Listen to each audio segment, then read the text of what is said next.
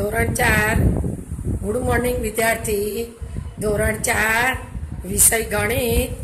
આપણે પ્રકરણ આજથી નવું ચાલુ કર્યું. પ્રકરણ સાત, જગ અને મગ. ચોપડી ખોલજો. પણ ચોપડી પહેલાં, મેં પહેલાં તમને કોમન પહેલાં શીખવાડી દીધું છે કે પ્રકરણ સાત, જગ અને મગ.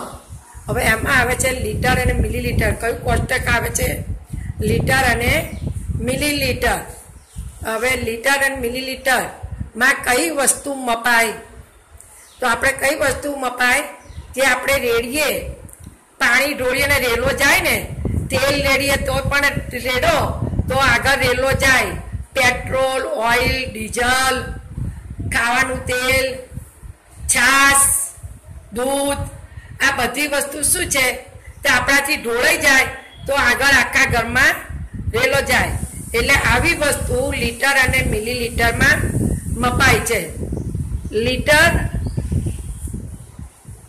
એ મોટું માપ છે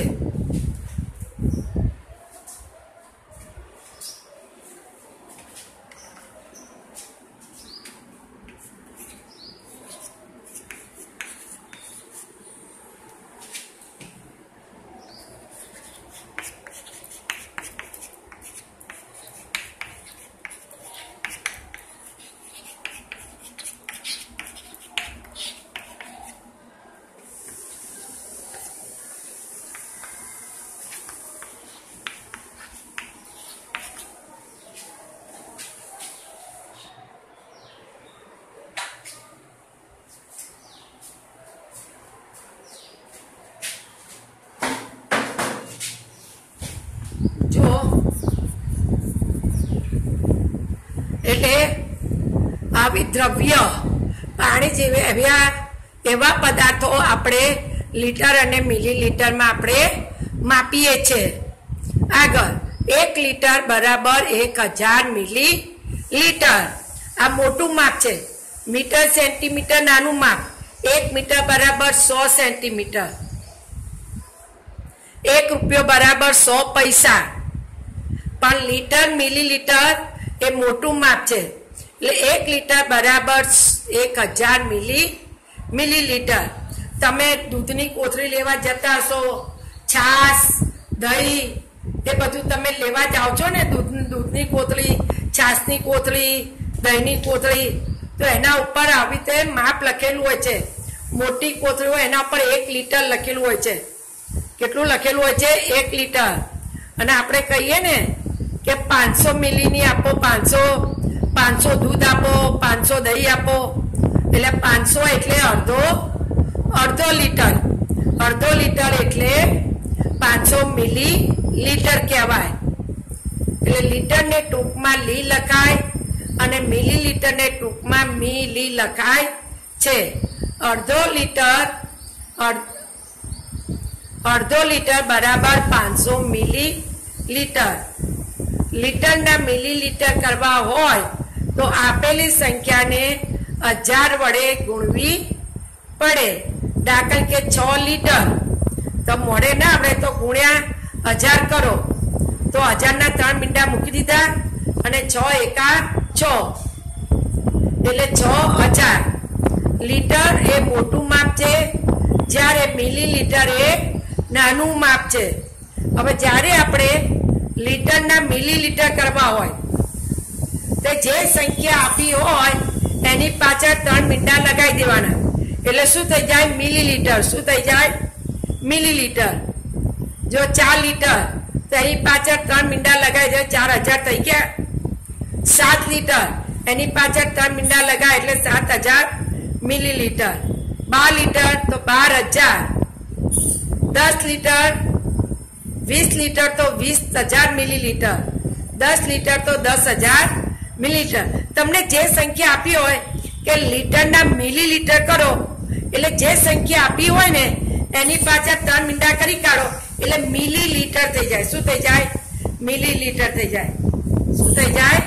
મિલીલીટર થઈ જાય. પાંત્રીસ લીટર તો પાંત્રીસ હજાર મિલીલીટર.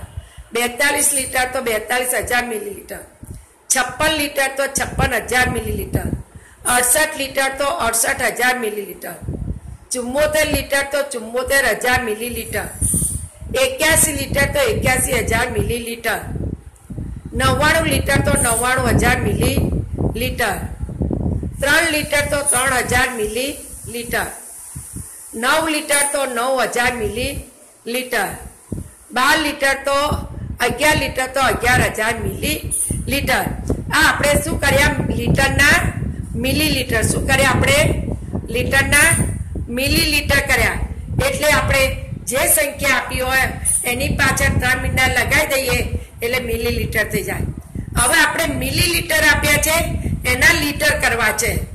તો શું કરવાનું? તે જે સંખ્યા આપી હોય ને, એમાંથી ત્રણ મીંડા કાઢી કાઢવાના. અને જે સંખ્યા હોય, એ લીટર થઈ જાય.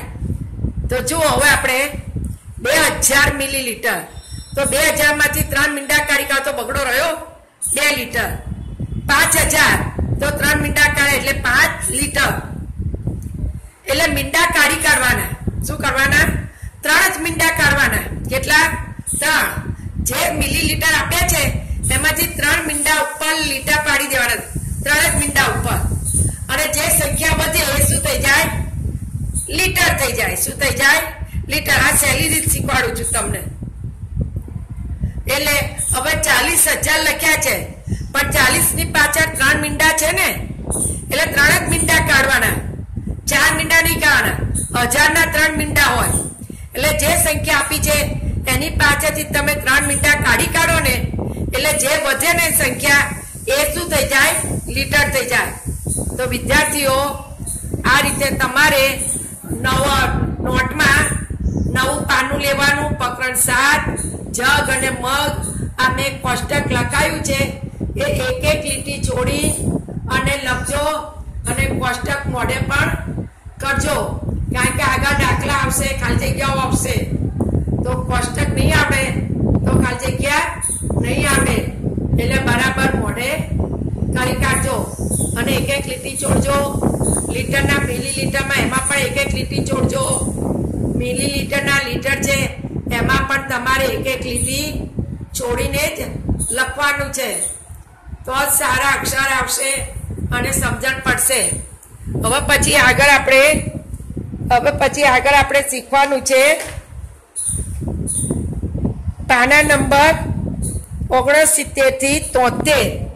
એ આવતા વિડીયોમાં આવતીકાલે આપણે ચોપડીમાંથી આપણે એ શીખવાનું છે.